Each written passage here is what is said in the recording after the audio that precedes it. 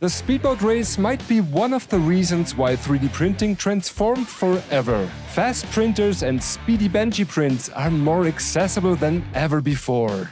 Today I show you how to slice as well as how to print a 7.5 minute 3D Benchy. I am going to reveal a ton of well-kept secrets during the full print of that speedboat. Stick around to learn how you can speed up your prints without sacrificing too much quality right here at 24-7 Gaming.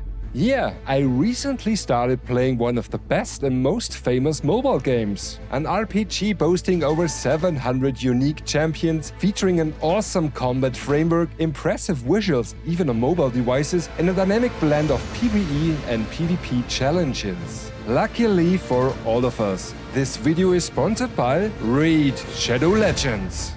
5 million monthly active users, as well as impressive user ratings on all platforms. Can't be wrong, and I confirm Raid Shadow Legends is an exceptionally good game. What I like most are the impressive 120Hz visuals on my smartphone and the motivating upgrade system featuring a huge load of artifacts to gear up your champions for combat.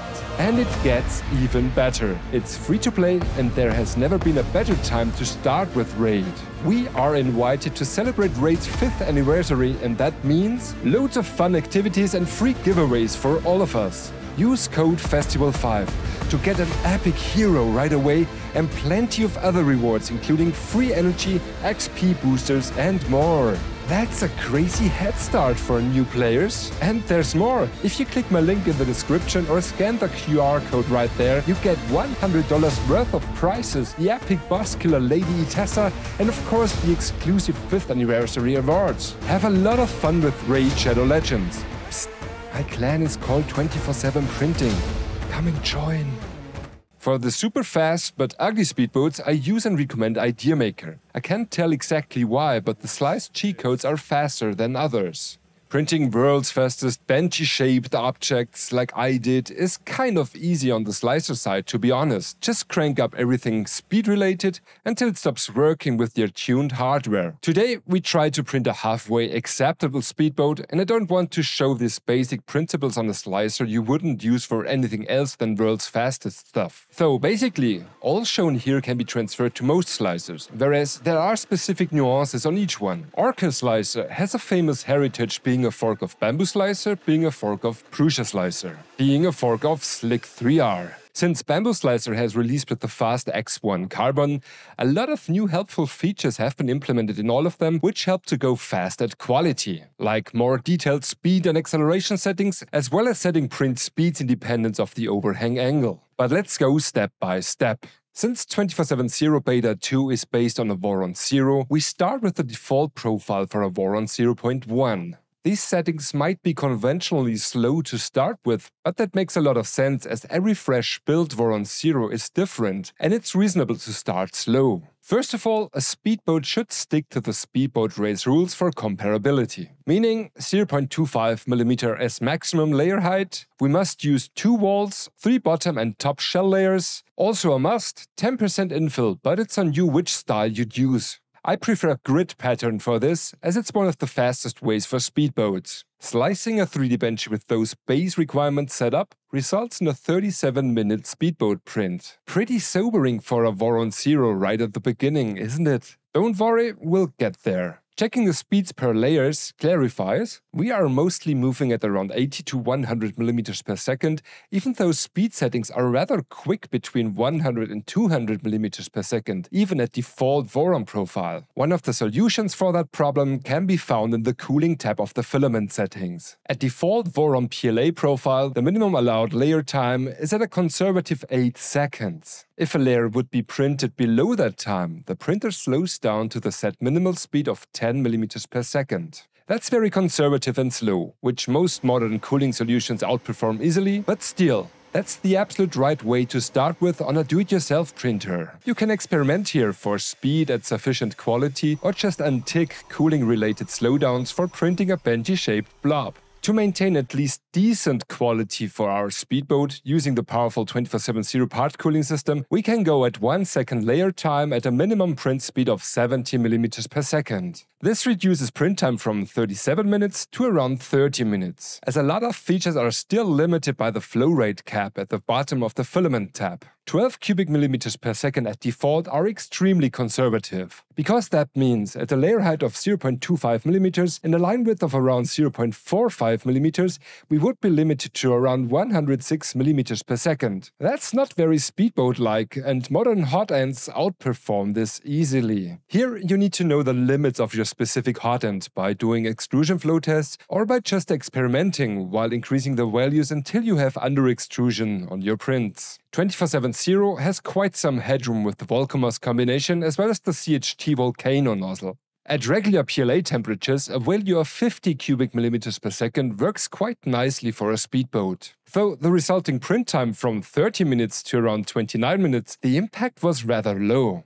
Let's fix that. The speed tab will be one of your best friends for experimenting. Rule of thumb for a speedboat at halfway decent quality, go as fast as possible on the inside, slow down on the outside. Sparse infill, full bore, as it's not visible and the 3D Benchy or other figurines don't need to be strong. Top surface and outer wall, Go slower, but let's still set decently fast speeds to hit fast print times. I also doubled the first layer speed and increased the overhang and bridging speeds. And here comes the big bummer. We only saved some seconds despite those high speeds. Why is that? Top speeds are still mostly limited by the flow rate cap, by the layer time in the cooling settings, and slowdowns due to overhangs. What we can do is to reach the requested top speeds faster by increasing the commanded acceleration. Probably the most important parameter for a speedboat as all print moves are very short on a 3D Benchy. The performance in acceleration and speed as well mostly depends on your hardware, like motors, the masses to move around, as well as the firmware limits you set on your printer. Again, 2470 has huge headroom for experimenting here, because of using high voltages and currents on the still only two tiny NEMA 14 motors. Using a lightweight X-axis at Bowden extrusion also is a major advantage to go fast. Going at 800 mm per second and 200,000 mm per second squared were great fun to achieve, apply and to watch on my former world's fastest blob-shaped object, but that's far from a halfway decent looking result. Also my experimental print print at 1500 millimeters per second and 70,000 millimeters per second squared were exciting to do and I learned a lot, but that's still not feasible for decent print quality. The truth of high speed at perfect quality will be somewhere between 15k and 30k acceleration, as well as between 200 and 400 millimeters per second square for quality features on 2470 Beta 2. We're going to explore this in a follow-up video, as there is still a lot of testing to do. Today we want to see both, a bit of speed and a bit of quality. So I applied some neat acceleration following the same rule of thumb as on the speed settings. Go as fast as possible on the inside, slow down on the outside. So mostly adding zeros to the Voron Zero default profile. The increase in accelerations boosts the speedboat time down to around 15 minutes. That's a step to the right direction, but still far from being impressive, right? Though we haven't touched cornering speeds yet. Jerk, or in Klipper language, square corner velocity, defines how fast we go when cornering. From my practical experience, high impact on print times, but also high impact on quality when set too high. That's a speed setting, so fast inside, reasonably slow on the outside. Full bore for the sparse infill. The very low moved masses give, again, quite some headroom for 24-7 Zero Beta 2, so we go somewhere between 20 and 200 for the features of our halfway reasonable speedboat. I need to repeat that these values most probably are no reference for your machine. Experiment carefully as this can induce tremendous shaking on your machine. We see a good boost of 2 minutes going down to around 13 minutes all in all. Though you might have realized that we haven't touched travel moves yet. As no printing is happening while the toolhead is traveling, we can throw in almost everything we can with 2470 Beta 2. 1000 mm per second at 120k acceleration and high cornering speed for the travel moves. Extremely fast traveling saves another close to 2 minutes for our speedboat, for free as it's without quality loss. NX Engineering allows us to use up to 0.5mm line width, and we should max this out, as this saves another staggering 2 minutes. This reduces the print move count drastically. Drawing thicker lines simply means less lines to draw. So we're at an estimated 9 minutes now, what else can we do? Let's check the extruder settings. With 247 being a Bowden printer, we need to go at least at 1.5mm retract. But thanks to the powerful Voron M4 Bowden extruder I use, we can easily go at 120mm per second instead of the 30mm per second at default. We also eliminate Z hop, retract on layer change, as well as wipe while retracting. All this costs a lot of time and we don't really need these. Final step and very important to make all this work, make sure to alter the motion ability parameters in the printer settings according to your printer's capabilities.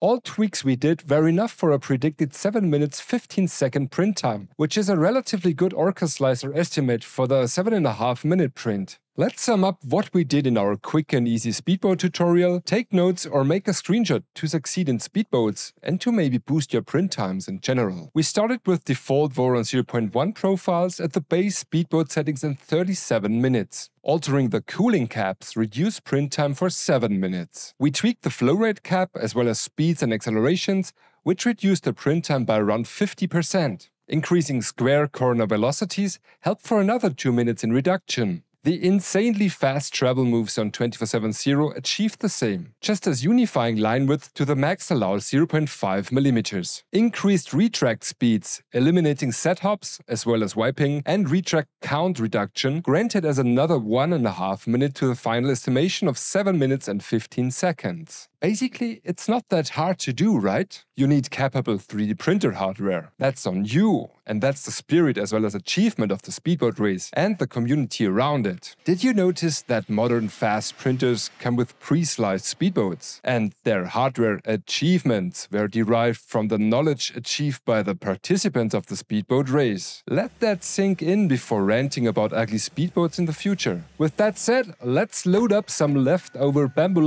PLA basic filament with Voron M4 extruder, let's turn on the cameras and lights, because according to the speedboat race rules, we record and show the whole print. Throughout the print, I'll comment and tell you about some secrets. So hang on and fasten your seatbelts.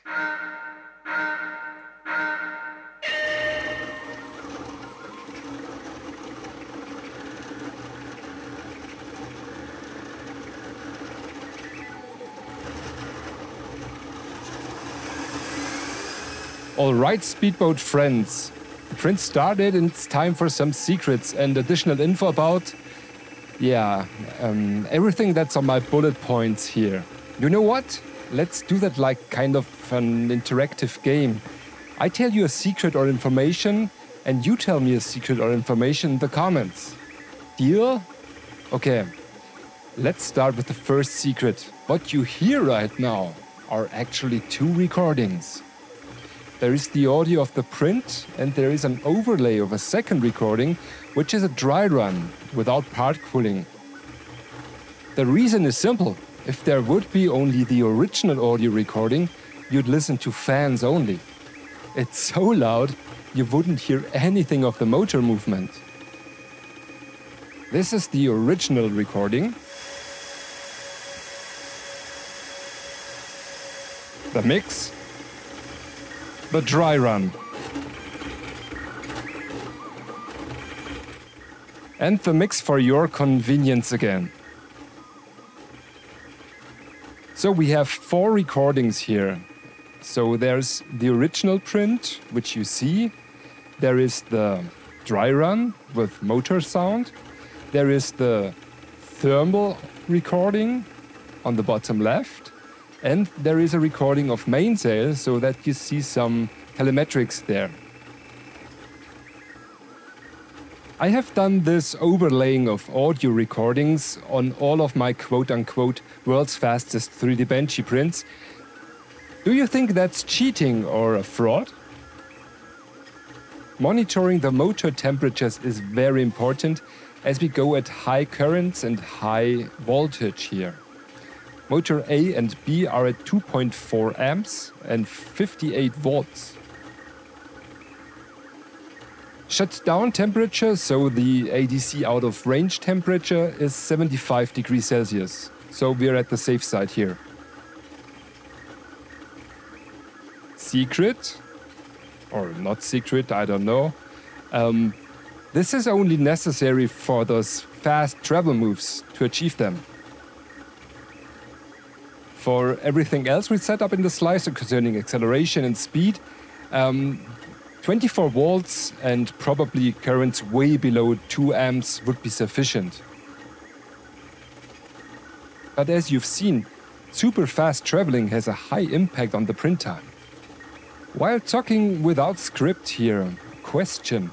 What would you expect about a live stream on 24-7 printing? What do you want to see there? Another secret? The Z-axis is configured to be super fast. I have an acceleration of 10,000 millimeters per second squared there, and uh, I think currents of 1.1 amps. That's why I chose the old version of the Z-axis without integrated lead-screw motor, the Voron 0.0 Z-axis, because I could choose my own motor there. Talking about motors, um, the temperature measurements is done with a 3950 thermistor, which is attached by VHB tape. So nothing fancy, but it works quick and dirty. I wonder why so many default profiles have so slow retracts. Um, they're mostly about 30 to 50 millimeters per second, and at least with PLA, super fast retracts work perfectly. Is it just about wear, or is it what do you think? Tell me in the comments, please. Here's a little YouTuber secret, my personal secret, because I'm quite slow at producing videos, as you might have realized. I need one hour per minute for producing a video like this. Um, this doesn't include the project, this is only script writing, voiceover, and video editing. So a video like the K1 Max versus QIDI X-Max 3 tech comparison was a lot of work. I can't make a living of a YouTube channel like mine, like 24 7 printing. So, yeah, you need a lot of dedication, a lot of passion, and sponsors like Raid to, yeah, get at least a bit of compensation for the hours you put into a video. Yup, there you have it. It's around 90 decibels because of the part cooling fans. That does not work without earplugs for me. That's harming your ears. Oh, and talking about comments. The 1500 millimeters per second video has up to date, let me see, over 1330 comments. Most of them congratulating me for stopping to smoke and for being sober. Man, really, it was such a pleasure to get daily comments like that, like up to date. Thanks a lot for that. Though there was a misunderstanding. As I said, I am not drunk. I said that because I was aiming at that screw and couldn't locate it to fasten it. I don't have and never had a problem with alcohol. I still like drinking beer, both with alcohol, without alcohol. I like it. I am from Bavaria. So what do you expect? Nevertheless, that's no glorification of alcohol in any respect. Kids and grown ups avoid alcohol as much as you can. Next to sugar, it's one of the worst drugs you can consume. By the way, do you know why my channel is called 24 7 Printing? I won't tell you now, maybe this year, but it's because of a project I did before I did YouTube, and speed printing was just a side effect. Hello, you. Yes, you. I have a problem now. I'm running out of secrets and of information I could tell you. So, hmm. I am 41 years old. I don't have kids yet. We don't have kids yet because we want to spend our time otherwise, like with my YouTube channel, with 3D printers, with CNC machine, with a laser I got lately, and with, yeah, gaming. I really like gaming.